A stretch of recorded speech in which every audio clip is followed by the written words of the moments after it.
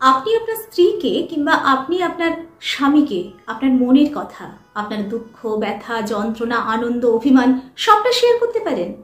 অনর্গল বলতে পারেন সব কিছু আপনার স্ত্রীকে কিংবা আপনার স্বামীকে। যদি পারেন, তাহলে আপনার স্ত্রী বা আপনার স্বামী আপনার খুব ভালো বন্ধু। না হলে হয়তো খুব ভালো স্ত্রী কিংবা খুব ভালো স্বামী আপনি পেয়েছেন। খুব ভালো বন্ধু পাওয়া হয়ে উঠল না। ভালো করে সংসার করা, ভালো করে ছেলে মেয়ে মানুষ করা মানে ভালো স্বামী স্ত্রী হয়ে ওঠা হলেও ভালো বন্ধু হয়ে ওঠা হয় না। ভালোবাসি বলা মানেই ভালোবাসা নয়, পাশে আছি বলা মানেই পাশে থাকা নয়। পাশে থাকা মানে আপনার সুখে, দুঃখে, আনন্দে, যন্ত্রণায়, অভিমানে আপনার সঙ্গী হওয়া, আপনার বন্ধু হওয়া। ভালো স্বামী, ভালো স্ত্রী, এগুলোর পরেও একটি সংসারে সব থেকে যেটা দরকার সেটা হচ্ছে ভালো একজন বন্ধুর, যাকে নিয়ে আপনি সারাটা জীবন কাটিয়ে দিতে পারেন আনন্দে, সুখে দুঃখে, যন্ত্রণায়, অভিমানে।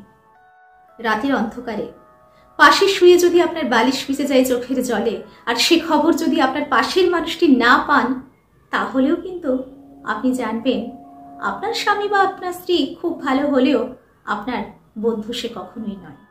যে আপনাকে অপরের কথা শুনে ছোট করে অপমান করে, অবিশ্বাস করে, সে কখনোই আপনার ভালো বন্ধু হতে পারে না।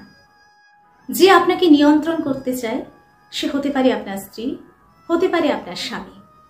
সে আপনার বন্ধু নয়। অনেক দিনের সংসার আপনাদের, অথচ আপনার স্বামী কিংবা আপনার স্ত্রী আপনাকে তার সমস্যার কথা, তার দুঃখের কথা, তার অভিমানের কথা আপনাকে বলতে পারছে না। তাহলে জানবেন, আপনাদের মধ্যে ভালোবাসায় ফাঁক থেকে গিয়েছে। স্বামী, স্ত্রীর মধ্যে কোনো গোপনীয়তা থাকা উচিত না।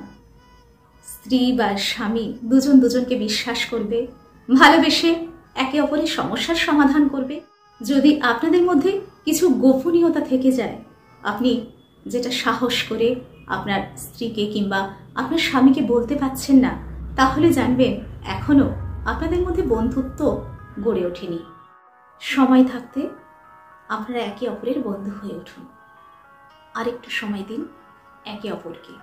আর আরেকটা কথা, নিজেদের সমস্যা, নিজেদের ভালো লাগা, না লাগা অন্যের সঙ্গে শেয়ার করতে যাবেন না। তাতে সেই সমস্যাটা আরও বাড়ে, কখনোই সেটা কমে না। যদি সমস্যা থেকেই থাকে, স্বামী স্ত্রী দুজনের মধ্যে সেটা দুজনে বসে মিটিয়ে নিন।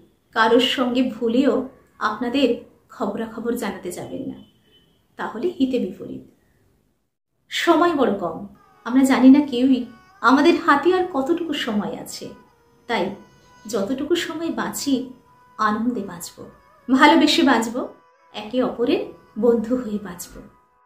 কখনো সন্তানের সামনে স্ত্রীকে কিংবা স্বামীকে ছোট করবেন না।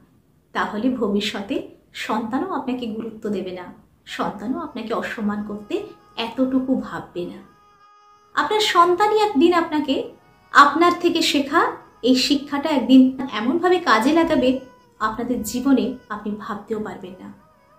আপনার সন্তান আপনার স্ত্রীকে বা আপনার স্বামীকে ছোট করতে এতটুকু ভাববে না। তাই কখনোই সন্তানের সামনে স্ত্রী বা স্বামী কাউকেই আপনারা অপমান করবেন না কাউকেই আপনারা ছোট করবেন না।